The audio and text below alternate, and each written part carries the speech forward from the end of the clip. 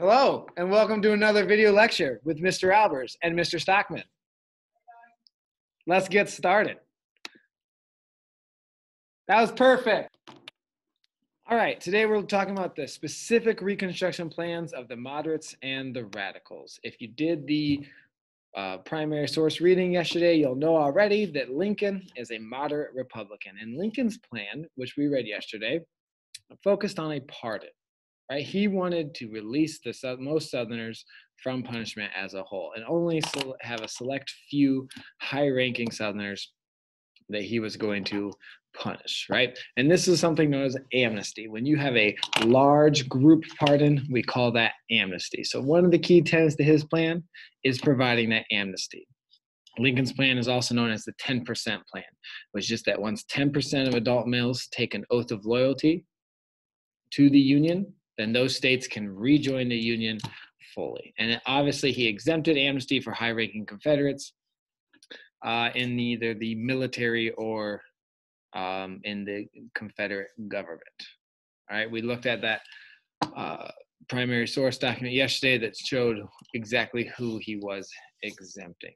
On the other side, you have the radical Republicans under the leadership of Thaddeus Stevens and Charles Sumner. They proposed what is called the Wade Davis Bill.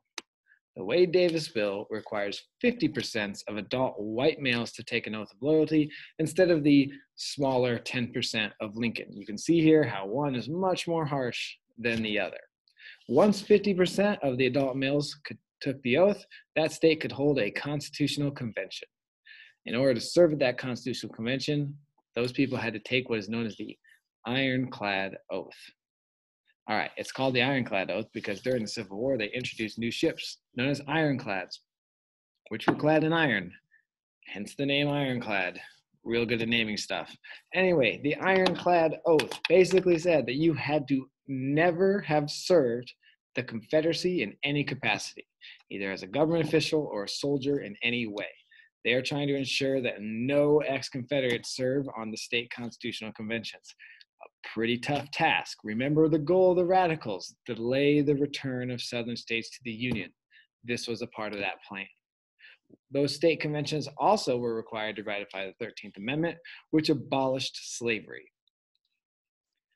Once that they did that, they had to agree that no former Confederate leaders can serve as federal representatives, and they had to agree to reject Confederate debt. If all of these stipulations were met, 50% oath of loyalty, Constitutional Convention with no ex Confederates, rejecting Confederate debt, no former Confederate leaders, and ratifying the 13th Amendment, those states could be readmitted to the Union. This bill was pocket vetoed by Abraham Lincoln. What this means is a veto is when the president overturns a law with a signature. When that happens, the Congress can overturn a veto with two thirds majority.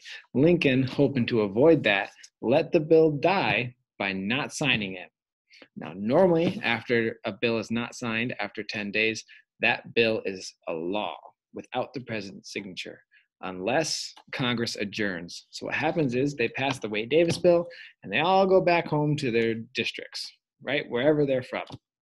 And when that happens, and the president doesn't sign the bill into law, the bill is just dead forever with no hope of Congress overturning any veto. So, what this means is the Wade Davis bill was set aside and it was never to be heard from again.